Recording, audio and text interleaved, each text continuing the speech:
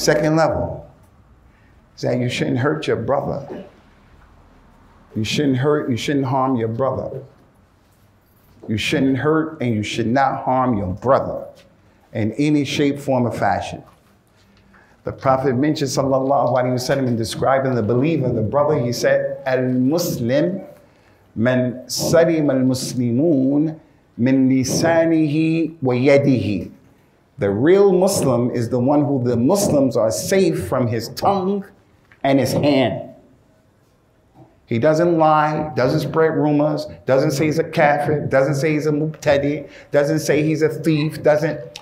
The Muslims are saved from what he has to say.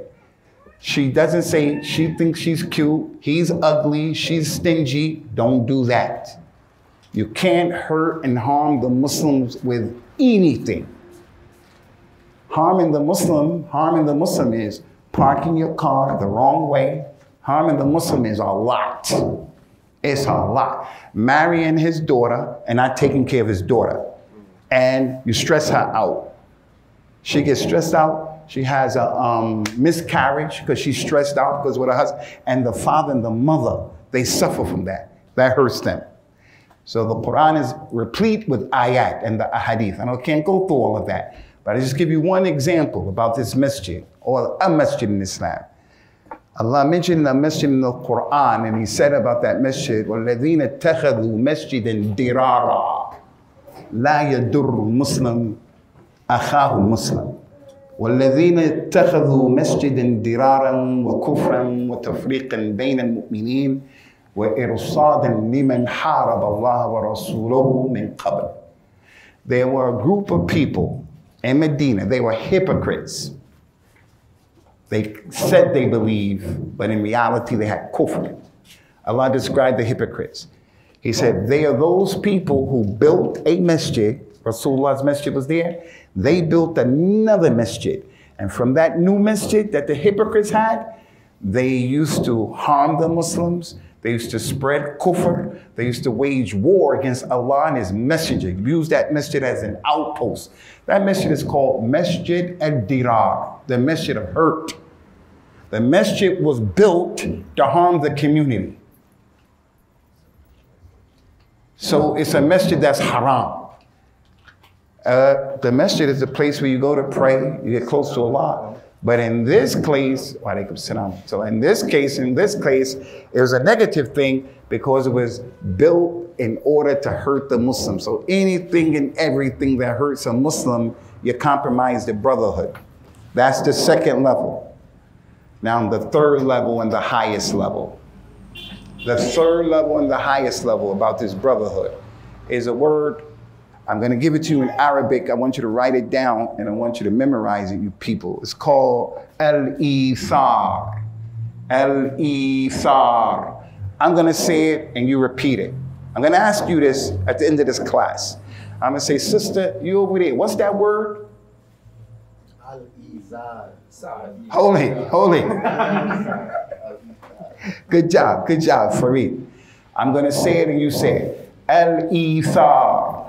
Al-Ithar. Remember, gotta look at the word. Al-Ithar. Al-Ithar. Al-Ithar in Arabic, you should add that to your vocabulary, man. Al-Ithar means something is your haq. It's your haq. But your brother, you give him preference over yourself. It's yours. It's your water, but you give it to him. And you prefer him to yourself. That's the seat you're, you're sitting in that seat. See, Sheikh Musa starts walking from around here. He's an older brother. You get up, it's your seat. You've been sitting there for 30 minutes. Sheikh Musa, the muezzin, starts walking. You get up and say, have this seat. That's the highest level of manifesting the darajat of brotherhood. To give him preference over yourself. Listen to what Allah Ta'ala said about the Muhajirin and the Ansar, who were brothers. The Muhajirin are the companions who accepted Islam in Mecca at first. And then they made hijrah and left their homes, their money, everything for Allah, and they went to Medina. And when they came to the Medina, they found the Ansar, those who accepted al-Islam after the Muhajirin. The Muhajirin of Mecca, the Muhajirin of Mecca, they are better than the Ansar in the scales of Islam. They're better. They are better. But the Ansar, they prove their worth. Listen to the ayat.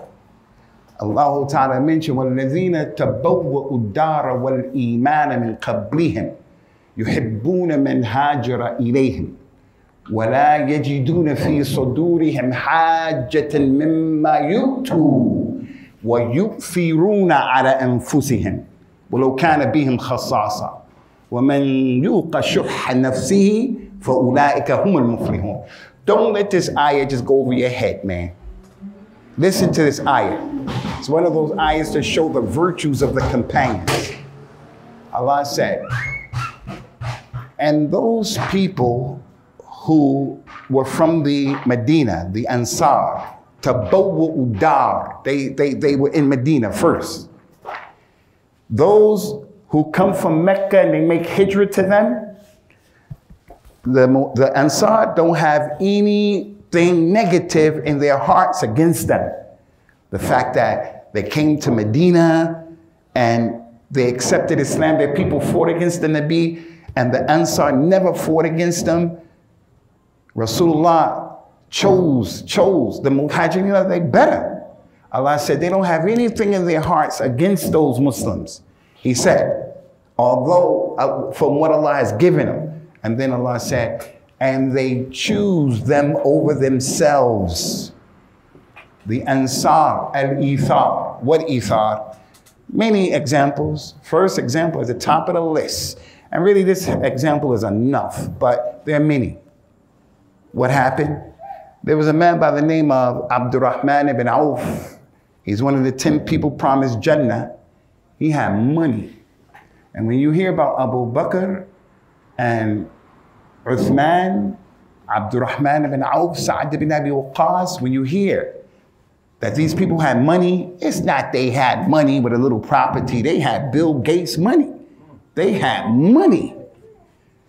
And half of the, or six of the 10 promised Jannah were people who had money. Allah doesn't want us to be bums and poor. ولا تنسى نصيبك من الدنيا. Those younger brothers who came in, I'm going to encourage you, encourage our youngsters, go to school, man, and get a degree and don't be a bum. We don't want you in the masjid in the corner talking about who, who, who, who, who, or praying all day. You got to get a job to help yourself and your family first and to help the community. Rasulullah paid emphasis on a lot of people. He paid emphasis, them 10 people, six of them had money. Anyway, Abdurrahman ibn Auf, he was rich in Mecca. He came from Mecca, he came to Medina with nothing, nothing. Rasulullah said, You, Abdurrahman ibn Auf, you're going to live with this man from Medina, from the Ansar, Sa'd ibn Zayd. And they were brothers. Sa'd ibn Zayd said to Abdurrahman ibn Auf, I have two wives. You choose which one you want to choose and you can marry her. I have this much money. I have a hundred pounds, thousand dollars. You take half and I take half. That doesn't exist now. I have about saved up in my account about 350 pounds, something like that. If I had to give one of you half of that, that's a tall order. Because I got a lot of bills to pay. Got a lot of kids. I got a lot of stuff to take care of. But those companions wasn't like that. That's Ithar. I can't imagine, I can't imagine a man saying, I got two wives. You choose which one you want, I'll divorce her. I could see one of us saying, I got two wives, this one, and there's a problem. I'm gonna give her to you, and I'm gonna take that one. That's what we do today. He said, You choose. But do you know what Abdurrahman ibn Auf said? You know what he said? He said, May Allah bless you and your family and your money. Just guide me to the marketplace. I know how to hustle. I know how to grind and make money. I ain't no bum. I know no welfare. Now it's permissible in Islam Prophet Muhammad said the upper hand is better than the lower hand. The upper hand that's given. That's when the upper hand is a Muslim hand and the lower hand is a Muslim hand. The one's given is going to get more reward than the one taken. What if that upper hand is the hand of a kafir and the lower hand is the hand of a Muslim?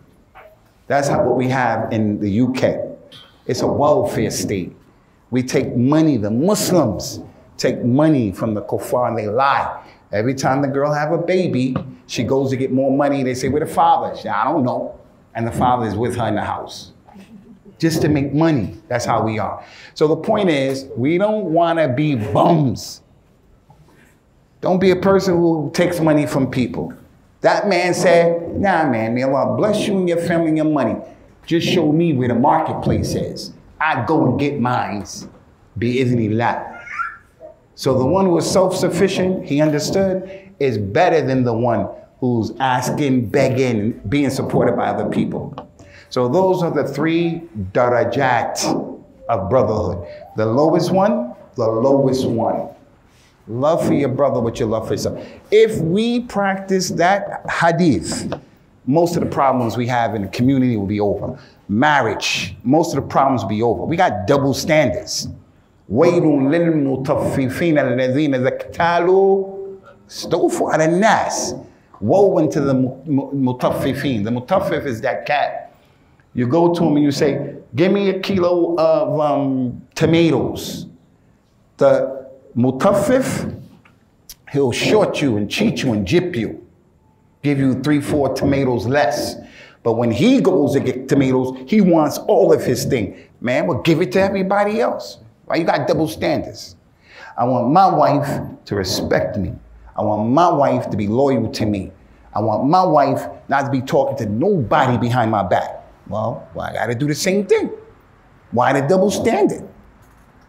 Lowest level love for the Muslim brother, sister, what you love for yourself. Second level, second level, don't hurt the person. Don't hurt people. How y'all hurt the person? Your lisan, your hand, what you say. The, what do you call that? The irr, the irr. The honor of a Muslim is sacred. His money is sacred. You can't just say anything about people. You people here, you people here, I don't know most of you who came today. Somebody come to me and just start talking about you, and I, I he just start talking about you. She just start talking about you because they don't like you, and they start telling me that. And your honor is sacred. What are you doing? If there's no religious reason of doing that, why are you telling me that? Today, you have no honor. Somebody don't like you, they don't know why they don't like you, they'll say anything about you. And it's big stuff. They'll call you a kafir, call you an innovator, call you a whatever, murderer, thief, anything. So those are the three. Can we move on to the next one? The darajat. Lowest one, love for your brother, you love for yourself. Next one, don't hurt them. Top one, al-ithar. Al-Ithar. What is Ithar? Giving preference. It's your haq to be in the first row in the chair in there, whatever. And you let the other person have that. Now we're going to go to what I really believe is the more important one, but I wanted to, to use that first one so you remember it from the khutbah. Now listen. The Brotherhood of Al-Islam has arkan, like the arkan of Al-Islam. Arkan, it is the part of a building that's the strongest part, the foundation, like our religion. The arkan of Islam are five. And this should be second nature to us. Ask the Muslim, what are the five arkan of Islam? He'll say Hajj, Som, Zakat, and I forgot the other two. Yeah, you were right, but we don't say it like that. You say it in, in line, in accordance to how it comes. Second nature. What are the five arkan of Islam? The shahadatain, the salat, the zakat, the som and hajj, because that's the importance that they come in. You see this chair? This chair has legs on it. You take one of these chairs out, this thing is going to be compromised. Your religion is the same way. Umar said about Hajj. How many of you perform Hajj? Put your hand up. All right, it's hard making Hajj from Jamaica. I was asked about that. And Shaitan doesn't want you to make Hajj. It's a, it's a, it's a, it's a journey of a lifetime. Umar said, anyone who has the ability to make Hajj and he doesn't, let him die as a Jew or Christian. Let him die. You have the ability. Zakat, all of it is like that. The arkan of al-iman, six articles of faith. What are the six articles? Uh, Yom al-Qiyamah, believe in that. Uh, believe in the Qadr. Um, believe in the prophets. The other ones I don't know. You have to know it like you know your kids. Prophet Muhammad said about, Allah said about the Yahud, they knew Prophet Muhammad was coming. They knew because the, they were prophesied that. Allah said, يَعْرِفُونَهُ كَمَا يَعْرِفُونَ أَبْنَاءَهُ They know him like they know their sons. I know my sons. Somebody come and say, your boy did this or that. I say, anything is possible, but I don't think my son did that. If something happened and a number of them were around, I say, Sheba, you did it. Because I know what this one do it. And we know our kids. You got to know these arkan like that. What are they? Six pillars of Iman. Believing in Allah, believing in the Malaika, believing in the books, believing in the prophets and the messages, salawatullah, salamu alayhim, believing in Yom al-Qiyamah, and believing in the Qadr, the good of and the bad. Point is, those are the arkan, the arkan of brotherhood. How many of you are married? How many of you are married? How many of you are not married? Some of you didn't even put your hands up at all. What, what you into? What you into? One more time. How many of you are married? How many of you are not married? All right, now check it out. Marriages, they have arkan. Your marriage, they have pillars as well, like communication. You don't want to be married to someone you don't communicate well with. You're in trouble. Loyalty, compatibility, respect, love, attraction. Those are from the arkan of marriage. If you don't, if you don't, it's like you missed the arkan of salat, iman, you're in trouble. That's why my man Abdullah is about to get married, inshallah. I hope Abdullah done tied his camel because you don't want to marry somebody the arkan. And that's why those Hollywood, Bollywood, Nollywood movies are your enemy that show this picture of fake marriage. It's a fake, fake. It's fake. It ain't even real. It ain't even real. I was, was well, I was taking a bus in the UK. It's a cheap bus and it's nice. You only have to pay five pounds to go from Birmingham to London. I took the bus. And they had the movies up there. They put the Bollywood movies up there. They put the Bollywood movie on there and the, um, you know, the hero, the dude, the hero. He has some muscles and stuff like that. His, you know, the lady he loved, she was in the building, had all these floors. This dude pulled up on a motorcycle, got off the motorcycle, ran upstairs. On each level, there was these dudes coming at him, fighting him. He was beating everybody up. Go to the next floor, next to the floor, next floor. He was, and then when he got to the top floor where the girl was, they threw her out the window.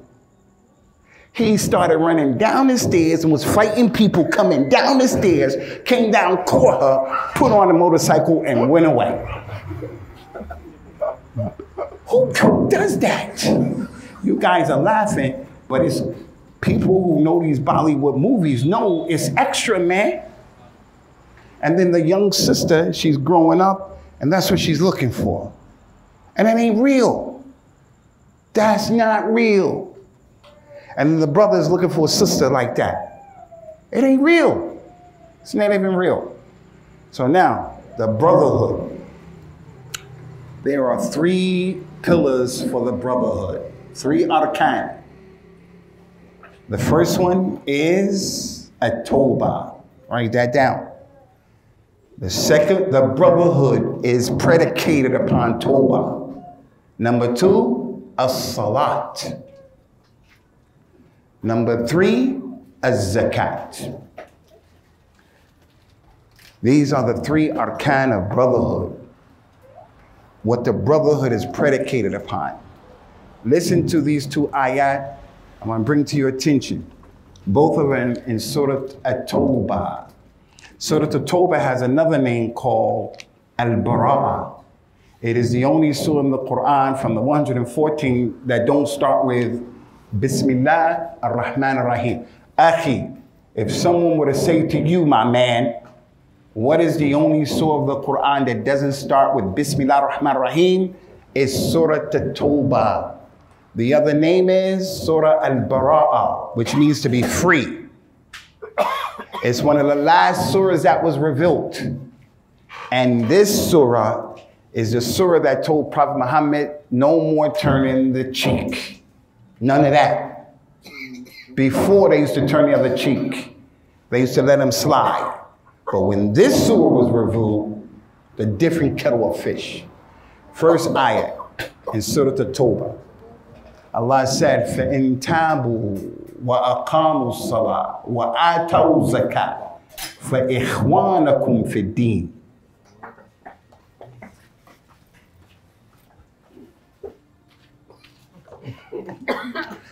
So Allah Azza said in this surah, Ya Muhammad, if they make tawbah, and if they perform salat, and if they give zakat, then they are your brothers in the deen.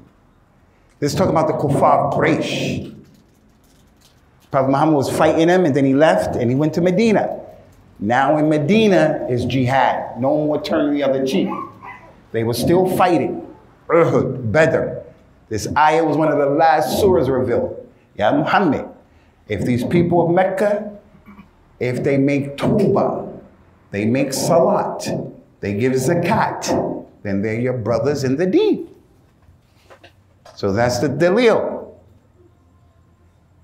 There's another ayat. I need you to write this down. It's called Ayatul Saif, the ayat of the sword. It is an ayat of the Quran that abrogated more ayat than any other ayat. Ayatul Saif. Allah said in this ayat, فإذا انسلخ الأشهر الحرم فاقتلوا المشركين حيث وجدتموهم فخذوهم واحصروهم واقعدوا لهم كل مرصد فإن تابوا وأقاموا الصلاة وآتوا زكاة فخلوا سبيلي Listen to this. Ya Muhammad, wherever you find these mushrikeen, faqtulum, kill them wherever you find them. What's the meaning of that? If you find them in Mecca, where you shouldn't fight, do that. If it's in a sacred month, do that. He said, if you find them, kill them wherever they are, because they're fighting against you. Not you just go to a non-Muslim, kill them. Daesh, ISIS, we're not on that stuff.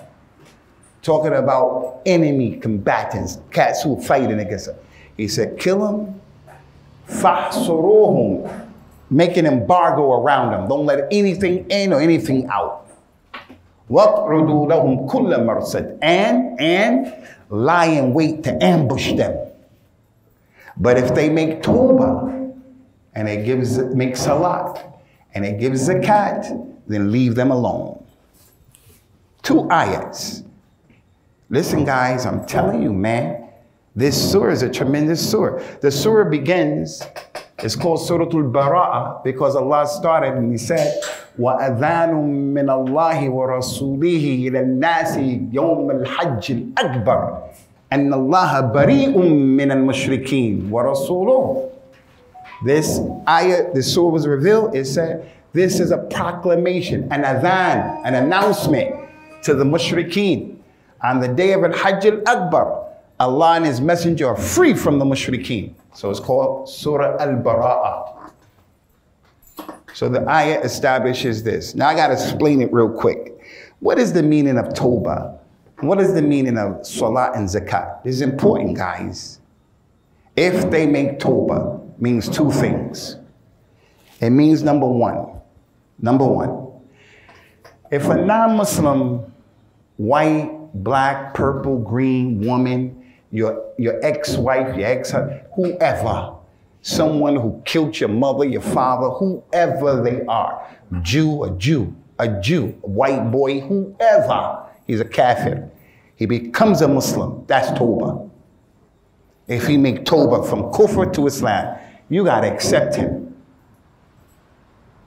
Now, coming from America, I grew up and we have a lot of racism, man, a lot of racism. So some of us, where I grew up, we didn't go to where the white boys, well, they didn't come to where you get caught over there, you in trouble. And if they get caught, they in trouble. That's what we grew up on. It was terrible. It's still like that. So now, the white boy become a Muslim. And I'm in the masjid and he become a Muslim. I gotta put all that nonsense behind me. And I gotta look at him as my brother. The Yahud, the Yahud. We look at the Yahud a particular way because of what's mentioned about them in the Quran, what they're doing in Palestine. The white dude comes to the masjid, Yahudi, and he accepts Islam. We got to accept him. But you know what I found with us in America, especially, and in the UK? The white boy could be a Jew. He was a Jew. He accepted Islam. We don't trust him. He's with the CIA. This dude is with MI5. Don't trust the white boy. You can't do that to people. He's a Muslim. He's a Muslim. If you can imagine here, like in America, the Bloods and the Crips, they hate each other. They hate each other. You know, Black Lives Matter to some people, not to them ignorant people. No life matter to them people. I want to use the N word to describe them. They're enemies to black people, I'm telling you. Some of them, you should throw them under the prison. They have a really, really strong hatred for each other. It happens all the time. Two of them would become Muslims in prison and out of prison. They got to put all of that drama behind them because they're Muslims. One tribe fought another tribe. One tribe got beef with another tribe in Africa, in the Arab world. This was it. So the first meaning of that is if somebody becomes a Muslim and makes Toba, he's your brother. She's your brother. The second meaning of it is they're already Muslims. They're already Muslims, but they oppress you. They oppress you. They stole your money.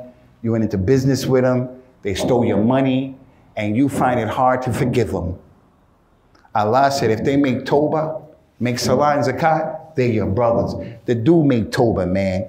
He made restorations. He apologized to you. He came and I said, look, I was, I was on drugs, whatever, whatever. I was in it. He made Toba. You can't keep holding that grudge against him.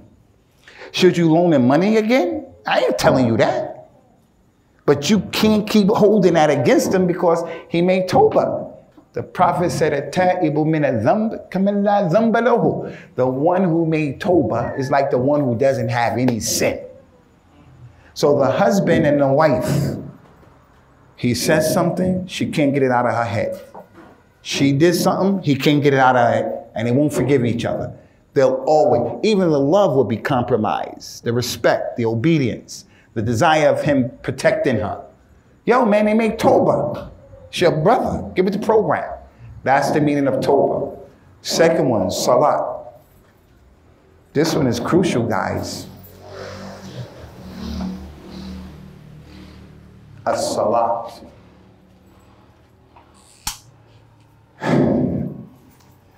Right here in this audience, I don't know most of you, but you know, I told you I have 350 pounds saved up. I can't give you half, it'd be hard for me. I would bet that 350 pounds, if I was a betting man, that there are people here who don't pray five times a day. Not because they're bad people, it's just because we're negligent. We don't pray Fajr. Not only that, not only that, listen, you take this finger right here, you put it on a Muslim map, Arab world, Africa, pick it up, it'll be dripping blood. One of the reasons why, Palestine and Iraq, Kashmir, uh, Syria, dripping blood. Why? One of the main reasons our ummah doesn't pray. Everybody here knows somebody who doesn't pray. Everybody. Everybody here. Everybody. Some of our children, 16, 17, 18, we don't even bother waking them up because we don't want them trouble. You just leave them. The wife prays, the husband doesn't pray. The husband prays, the wife doesn't pray. My cousin doesn't pray. My mother doesn't pray. My auntie doesn't pray. Everybody. Listen to what the Prophet said about Salat, sallallahu alayhi wasallam. Why we say this is a rukn for the brotherhood. Prophet Muhammad said, Al-ahdu alladhi baynana wa baynahum as-salat min tarakaha faqad kafar. The difference between us and them. Sikhs, agnostics, Hindus, Yahud, atheists, all of them. Difference between us and them is the prayer. Whoever doesn't pray is a kafir. How could he be my brother? Listen to this hadith. What are we talking about? We're talking about the arkan of brotherhood, which are three. The first one is Toba. Toba means two things. Once he becomes a Muslim, he's your brother. He's already a Muslim, he made a mistake, he made Toba, he's your brother. Second thing is Salah. Listen to this. Prophet Muhammad told us, sallallahu alayhi wasallam, من استقبل قبلتنا وصلى صلاتنا وأكل ذبيحتنا فذاك المسلم له مال المسلمين وعليه ما عليه. Anyone who faces our Qibla and prays the prayer that we pray, and he eats the food that we make, halal bismillah, then that is a Muslim. He has rights upon them and they have rights upon him. On the strength of him facing that Qibla and praying this prayer. So when you know of a Muslim who is struggling or he needs whatever, whatever, he's not perfect, whatever, we got to be there to try to support him or her. He may be a crackhead, but he's trying. We can't just guard him, throw him in a, in in a, in sewer. So, salat. If people are not praying, they're compromising the brotherhood of Al Islam. You ain't no real Muslim. I don't say you're a non Muslim, but you ain't no real Muslim. Louis Farrakhan and the nation, kuffar. Because they don't pray. In addition to the other stuff that they say, Ahmadiyya, they don't pray. They pray when they want to pray. Kuffar. And I'm not a person who runs around wholesale like a little kid saying kuffar, kuffar. This stuff is serious. So I want to say to all of you before moving on, get your salat together. You get your salat together. And if you are praying, if you are praying, got to get your wife on the program. Wife got to get her husband. We all got to get our kids. Our kids go to school and they don't pray. 16, 17, 14, 15, 16. That's the Islamic identity. That's the Islamic identity. Number three, zakat. Why do we say these three are the arkan? Why do we say that? Because of those ayat in Surah At-Tawbah. If they make Tawbah, they make Salah, give zakat, leave them. If they make Tawbah, they give zakat, make Salah, give zakat, they're your brothers. Zakat. Listen, listen carefully. A lot could be said about zakat, but I just draw your attention to one thing. One thing. Rasulullah sallallahu alaihi wasallam died. And when he died, who did the companions choose to be the leader? Abu Bakr as-Siddiq. Before Rasulullah died, there were a number of Bedouin Arabs who said, we believe in everything. We believe in Allah, the Malaika, the books, the prophets, Yom al-Qiyamah, the Qadr. We believe in the Arkan of Islam, all of that. But we're not giving any more zakat. They believed in zakat. They said, we're not giving the zakat to Abu Bakr. We're not giving you no money. That's it. Rasulullah died. Abu Bakr cool, calmed things down and then he gathered up an army and said, we're going to go get them. We're going to get them. They were Muslims. Umar, Uthman, everybody from the community was saying, how are you going to fight people? They say, La ilaha illallah, we can't go fight them out here. Abu Bakr was all by himself. He said, listen, if these people used to give Rasulullah zakat, and then they don't want to give it to me, even the thing that you tie the camel's leg so they don't move. Even if they held that back, I'm going to get them. I'm going to get them. The community said, How? How? They're Muslims. Abu Bakr bought the dalil. He didn't just stay there arguing. He said, I heard the Prophet say, Sallallahu Alaihi Wasallam, in an authentic hadith. Whoever says, La ilaha illallah, Muhammad Rasulullah, he does the salah, and he gives the zakat, فقد حرمت علي أموالهم ودماءهم إلا بحق الإسلام. Anyone who says La ilaha illallah Muhammad Rasulullah makes salat and gives zakat. He didn't say Hajj in Ramadan. Anybody, Rasulullah said, who says these three things, his wealth is haram. His blood is haram. You can't harm him. You can't take his wealth.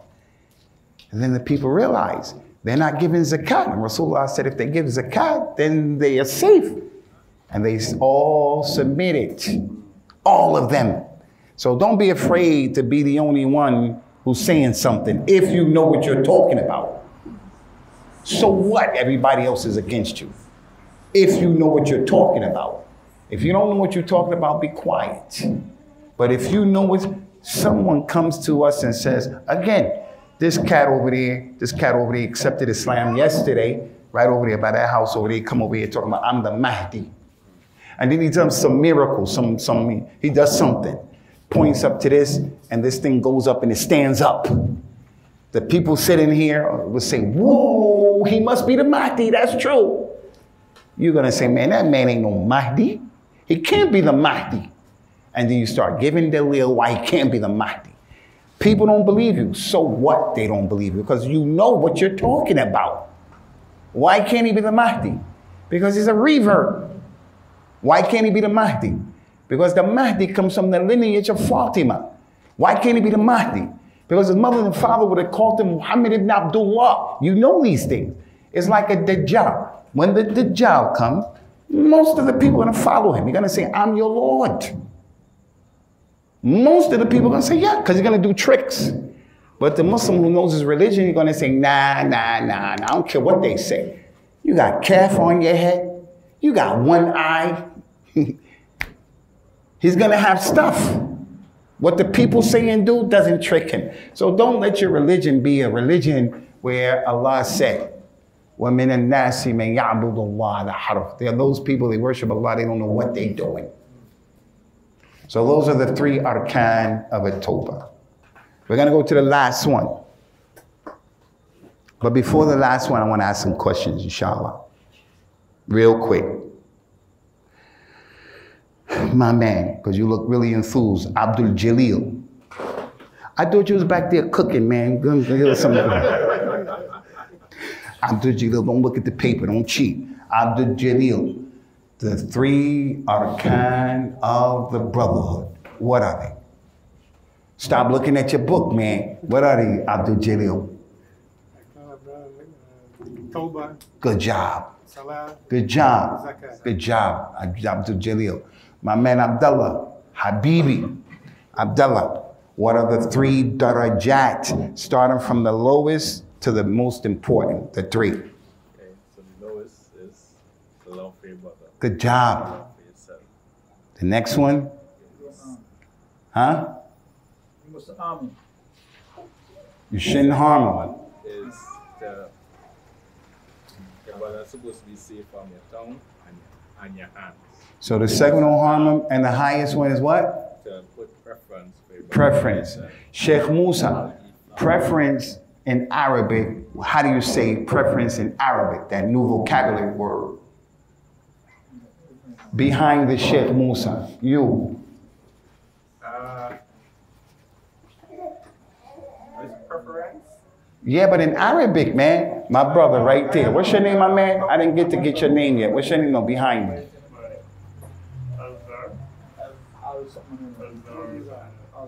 Oh, I thought you was Zard. Yeah, I am.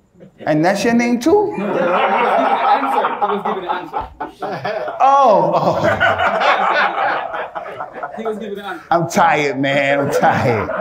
I'm tired. Plus, you got your hand in your mouth, man. You got to take your hand and be, be a man, man.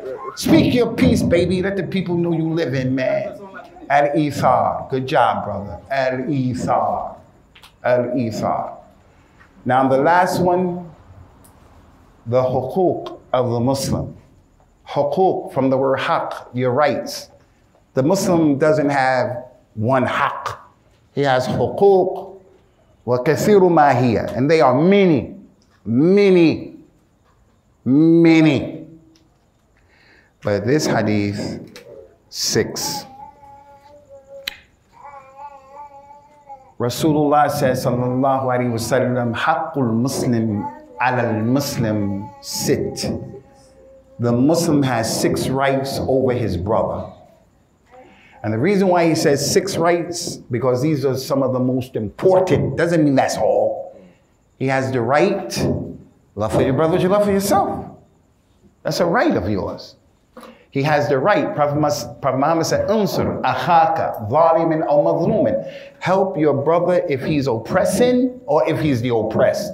They say, Ya Rasulullah, we understand if he's being oppressed, but how are we going to help him if he's oppressing? He says, stop him from oppressing. He's beating up his wife. He's not taking care of the situation. And you know it. Get involved and say, What are you doing? Stop him. He's going, he's going overboard. It's your, it's your job to stop him. We can't just sit. You got to give him advice. That's, you know, you got to help him. So the haq, the haq, hukuk are many, many.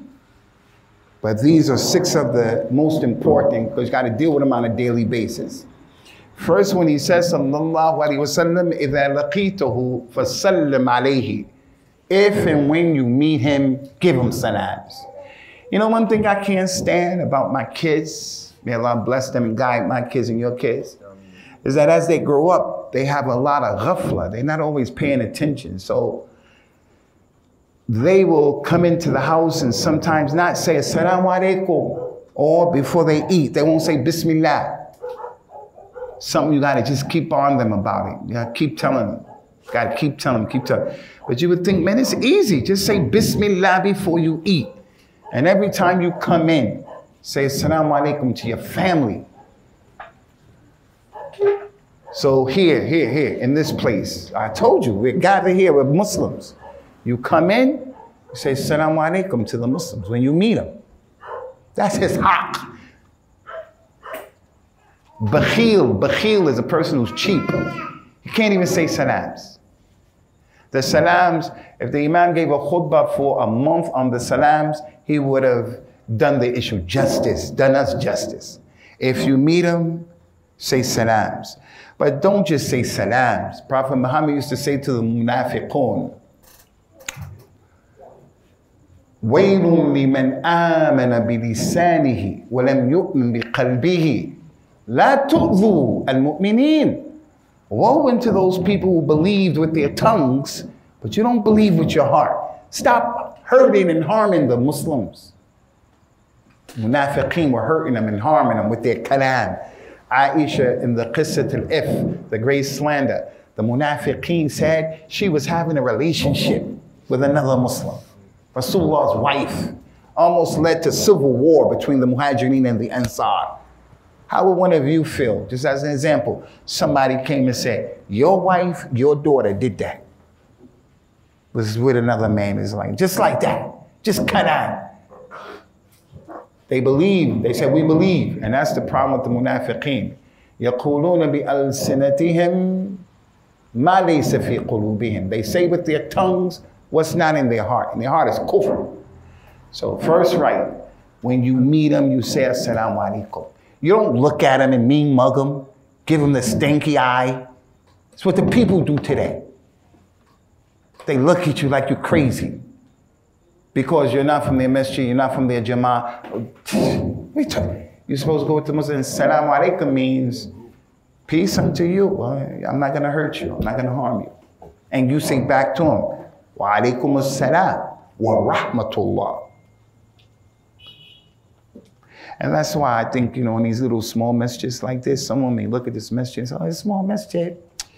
I think the best messages are the small messages because they're easier to manage and they're easier to be Muslims in. They're easier to, to, to be together if the people understand the religion. The Imam is example. He's a fitna.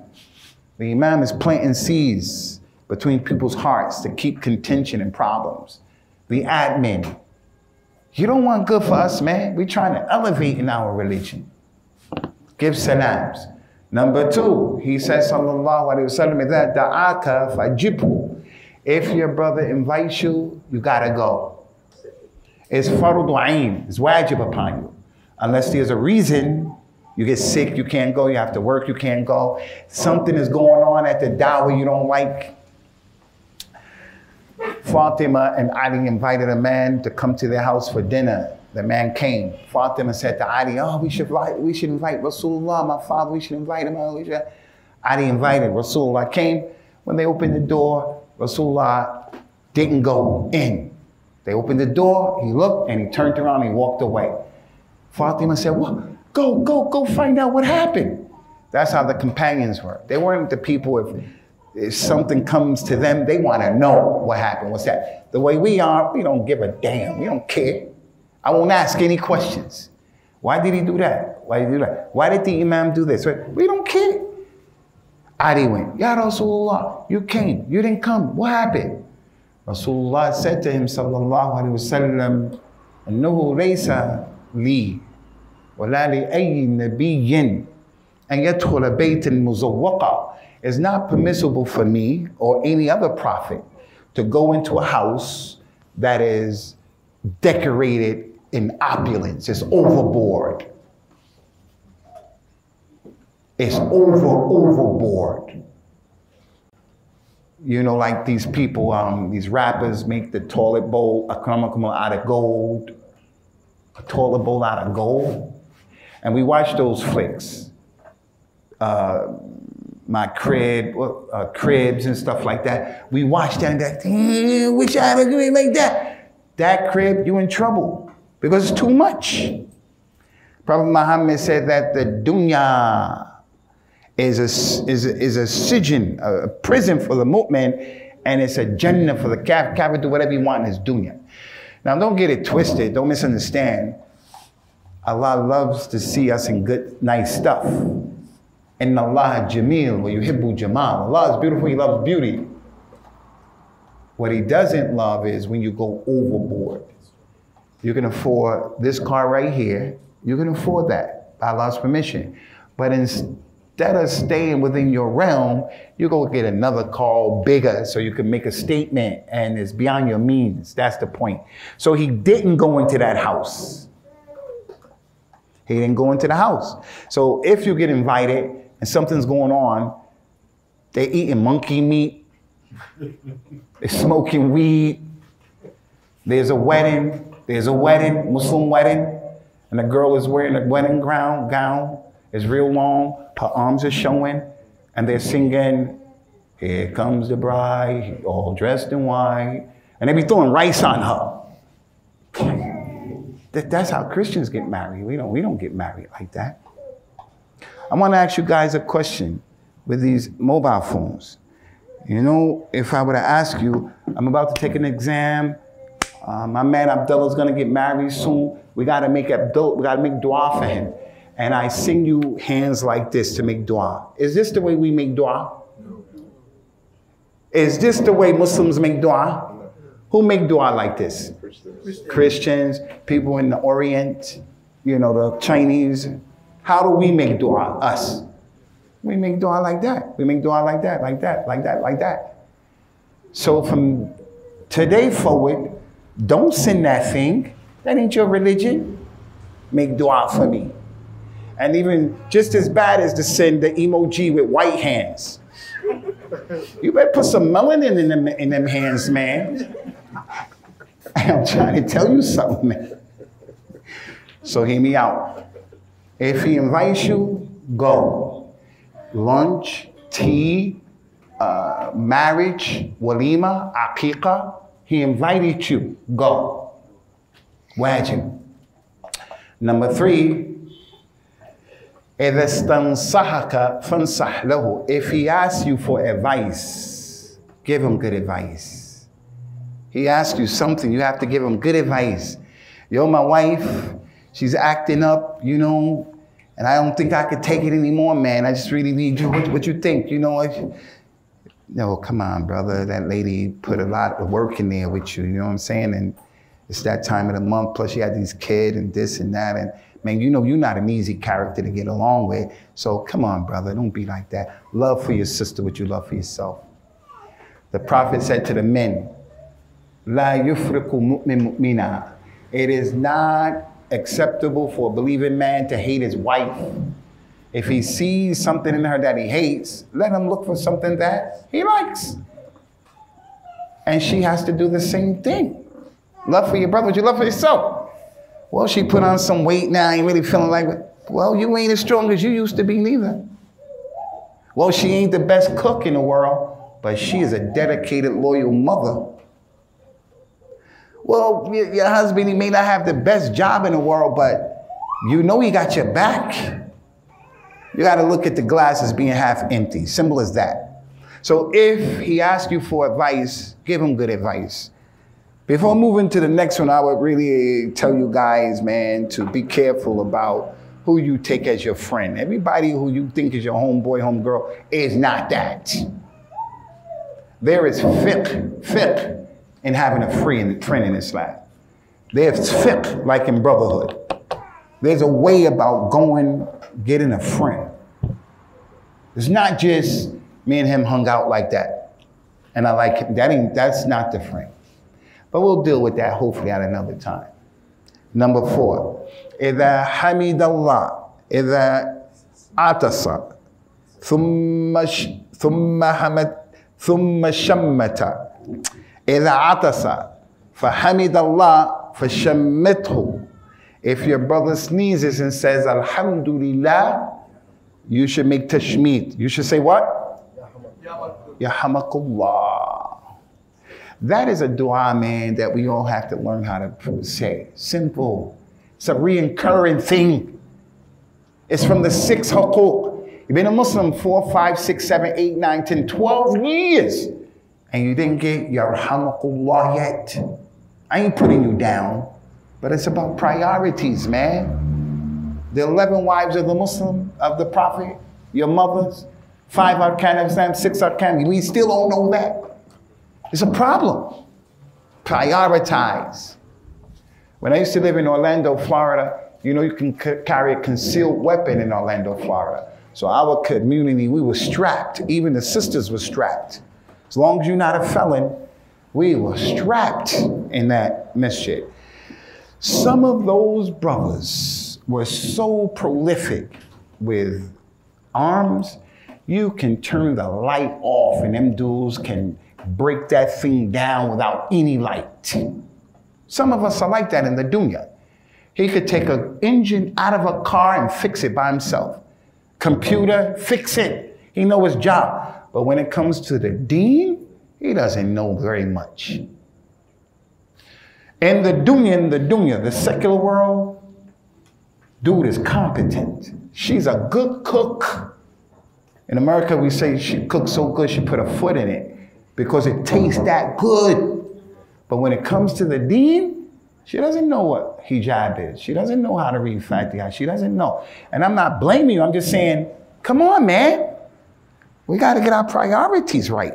You don't have to be a scholar. You don't have to give the khutbah. You don't have to memorize the Quran. But know enough where you just know how to navigate, man. You're not confused. Everybody come with a new screen. You gonna follow them? Now I ain't following you, man. Where's your delil for that? What are you talking about? Who said that along with you? You... So if he sneezes and says Alhamdulillah, you say Alhamdulillah. If he doesn't say Alhamdulillah, what should we do? Be quiet. Don't make that dua for him.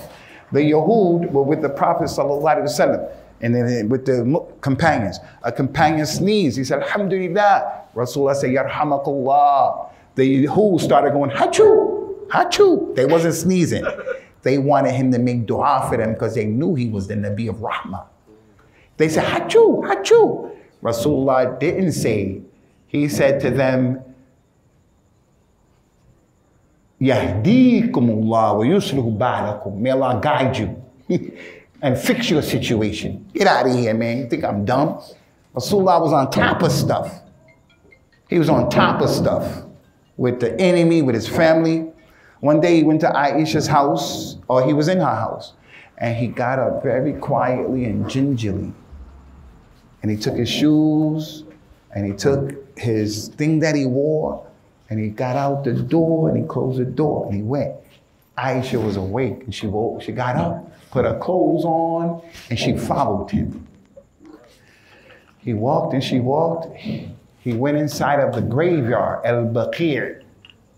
And she stood outside by the thing looking. She saw him raise his hands like this. And he stood there. And then he turned around to come back. She ran. She came in the house, got in the bed. Rasulullah came in, sallallahu alaihi wasallam, and he got in the bed. And she was doing this.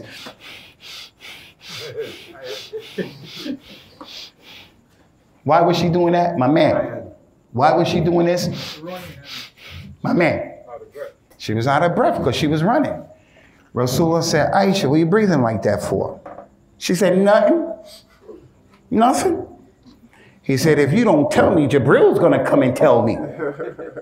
She said, oh, Rasulullah, you got up and you went out there. I thought you was going to your other wife's house and I just followed you. Which is a proof that that's, a, I got two wives, man. My wife does something like that. I, why am I break her neck? Why am I bust her up like that? Why am I push her down the stairs? Why am I call out her name? Aisha was jealous, man. That's how it go. I thought you was gonna go with your wife and it was my night and everything like that. That happens to one of us. She just girl say, you know, it's my night. Your night is all my night. It's my night, it's my my week, my day. You just give it and take the crumbs. So Allah wasn't like that. He did just like this to her. Head up here. Playfully. Not to hurt her. He said, Aisha, do you think I would ever be unjust with you or other than you? I would never be unjust. What's the point? He knew his wife, man. Some of us, our kids will come in that room, man, drink orange juice and vodka. We don't even know they blazed. We don't even know our kids smoking weed. We don't even know our kids got a boyfriend or girlfriend. I'm not saying you gotta go behind your kid, man, and if you have to, you have to. You have to, you have to. But we gotta know, man, the changes in our children, the changes of our wife, the office politics. You gotta know, man, who you can trust, who you can't trust. Can't trust nobody in that office. It's being knucklehead. That's the point. That's four. Last two, if he becomes sick, yeah, yeah. If, what time is it? If the Muslim becomes sick, you should visit him in the hospital, in his house. If visiting him is hard, pick up the horn. Just reach out to him and say, Salam, how you doing? Inshallah, you get that reward. Call him on the FaceTime.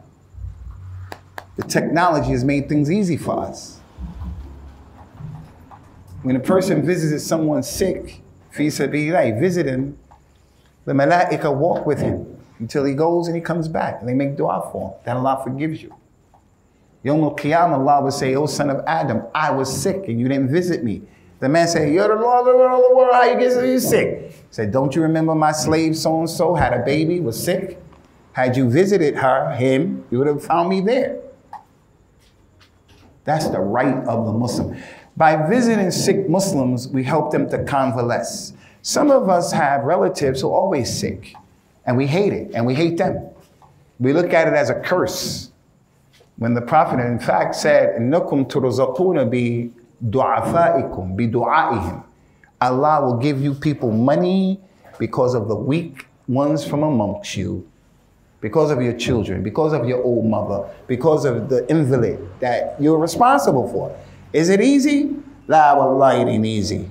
Trust me, I had a daughter who was sick like that. It ain't easy. But you're with them all the time. It's rahmah. So make that a part of your re- repertoire, what it is to be a Muslim.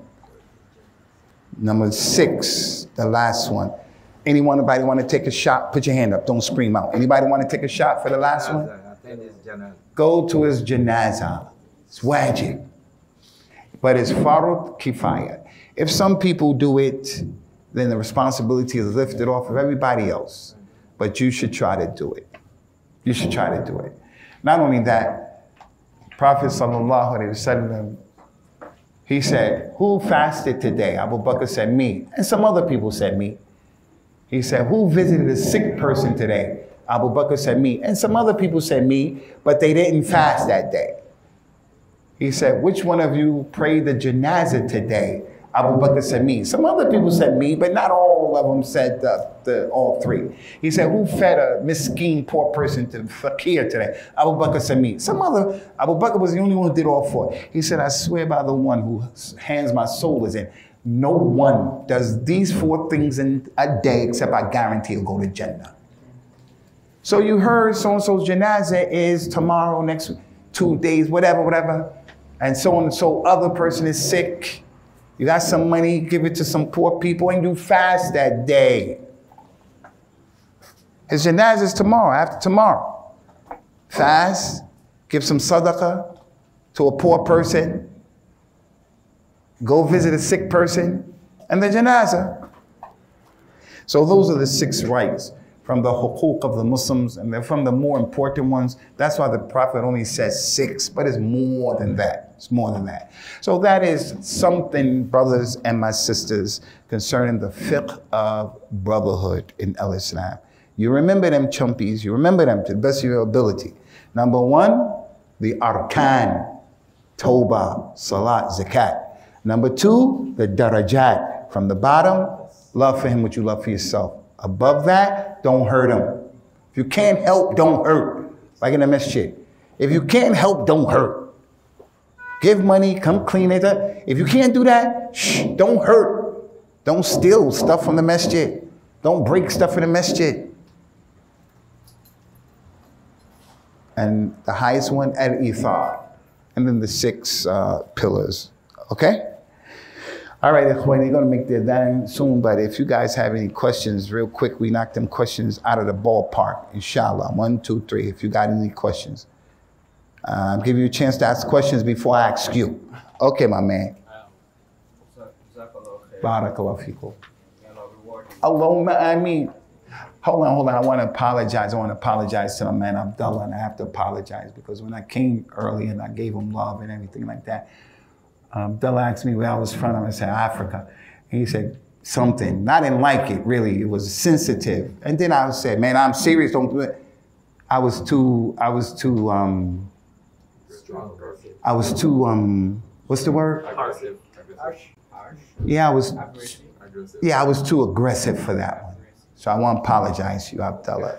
Because uh, you'll be surprised, Akhi. Sometimes our relationships and with people, they hinge on little things like that. That brother can go away, be like, man, that brother was like that with me, and I didn't really mean it like that. From the rights brothers we have on each other, give your brother an excuse and the benefit of the doubt. Why did he do that?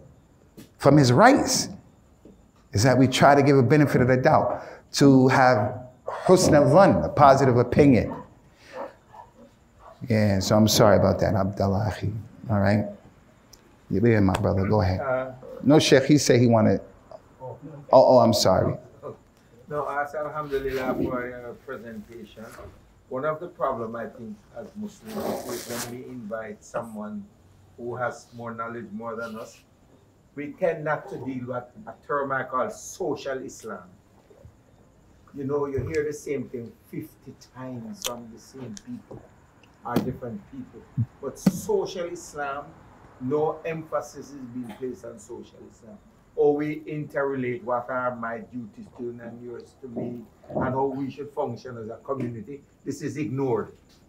So I call it social Islam, alhamdulillah, for making this presentation and this aspect of how our relation should be. My mother, may Allah guide her and bless her, she used to say a lot of wise things, man. She was not a Muslim, but she was a wise, and she is a wise lady. She used to tell my sisters, my two sisters, my brother, and myself, when she wanted us to do something, she would use an acronym, and it was KISS, K I S S. And that, to my mother and her tarbiyah of teaching us, means keep it simple, stupid. That's what my mother used to say, keep it simple, stupid. And she didn't call me a stupid like in a condescending way, but she was trying to emphasize. And that's an Islamic principle. Our dawah, our teachings should be basic for our community. It shouldn't be up there with the stars, man. A jarh with ta'deel is difficult. A sulu fiqh is difficult. The qira'at of the Quran is difficult. Let's just keep it simple amongst ourselves. Treat each other the way you want to be treated. Leave this whole talk on the side. Leave the whole thing on the side. Everything on the side. Just treat everybody the way you want to be treated. That's all. Simple as that. Let that be a daily goal. I don't want to have a double standard, and I don't want to oppress people because I don't want that to happen to me. And there's a principle in life: come out to deen to dan. As you do, is going to be done unto you. So you younger brothers, you be knuckleheads, be disrespectful, you be mean to your mother and your father. Your turn is going to come around when you get married, and you're going to have kids who are going to do the same thing to you. You took a man's wife, you took a man's daughter, and you don't treat her well, you're going to have a daughter. You're going to have a daughter. And then there's going to be some knucklehead who's going to come and treat her the same way. The same way. So it's simple, man. KISS. You guys remember that acronym. Keep it simple, stupid. Any more questions? And don't, I ain't calling nobody stupid, man. I'm sharing. now, some of them mean mugging me, man. Some of them mean mugging me, man. Don't mean mug me, man. Any more questions, man? Zar, you have, yeah, my brother. Um, in terms of the, are there any classical books on brotherhood that you can recommend? Um, I know Imam Ghazali has one, The Eight Duties of Brotherhood, but I, I don't know if that book comes recommended as well as one of the, the works on brotherhood. But is there anything that you could give us to read or Yeah, in English, in English right now, there was a renaissance in the last 15, 20 years where brothers on the Sunnah who want pure Islam did a lot of translating books and things like that. And there are a lot of books on brotherhood out there that were translated by different brothers. So if you put in Google, brotherhood according to the Quran and the Sunnah, that stuff would come up. And I have to say this, brother, may Allah bless you. I'm a straight up cat. Al Imam Abu Hamid Al Ghazali, I wouldn't advise the community to read his book, Ihya ad-Din, because it has a lot of Sufism in and stuff like that. What I just told you is from that book. What I just told you is from that book. Now, as you sat there and you listened to what you just heard, now, of course, I put my own shatta and my own milk on it, right? But the origin of, he's a Sufi. Are we going to say, oh, well, everything you just said is disqualified. Let's throw it away. Let's throw it away. Because it's a Sufi book. Do, do, is that Islam right there? Because some people will have you to believe that's Islam. And would have you stuck on stupid, scratching your head. Should we throw that book away? Or this information? So we have to learn how, brother, as the teacher to put it across, as the students to understand our religion is not complicated like that, man. Prophet Muhammad described this ummah and he says, Sallallahu Alaihi Wasallam, Ummatuna ummatun ummiya la naqra la nahsub. We are an ummah, a group of people who are illiterate. We don't read and we don't count very well. It's a miracle. Imam al-Bayhaqi brought that book in his book, Kitab Dala'il al-Nubuwwah. How did he know that if you took all of the Muslims at any given time, you gathered them all up, more of them can't read and write than they can. The hadith is not encouraging us to be illiterate, but it's telling the reality of our ummah. So do you think an ummah that's illiterate, the Quran will be complicated? The religion is complicated? Nah, this is a religion that Amr, Bakr, and Zayd can follow easily. Whereas when you pick up that Bible, the language, God so forth loveth it went over there. How far art thou, Romeo, Juliet? Like, man, get out of here with that stuff. We can't even read that stuff. It, it doesn't even make sense, man. But you look at the Quran and it said, قُلْ هُوَ اللَّهُ أَحَدٌ الله الصمد لم يلد ولم يولد ولم يكن له كفوا أحد The ayah said, محمد رسول الله والذين معه الشداء والكفار رحماء بينهم Muhammad is the messenger of Allah and those who are with him they are harsh, rough, strong against Kuffar, Rahma, ruhama between us. Eh, eh. Is that difficult to understand? وَاعْتَسِمُوا بِحَبْلِ اللَّهِ جَمِيعًا وَلَا تَفَرَّقُوا Hold on all together to the rope of Allah and don't be divided. Is that difficult to understand? I listen to some of these Christians, man, and I'd be like, what is he talking about? What is he talking about?